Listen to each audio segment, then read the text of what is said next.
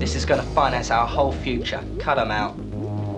I've been to see the Long Bed. You boys will make a beautiful job of it. I want him reading in college. Nothing happened to you on the way here. No. Something may have happened to you on the way back.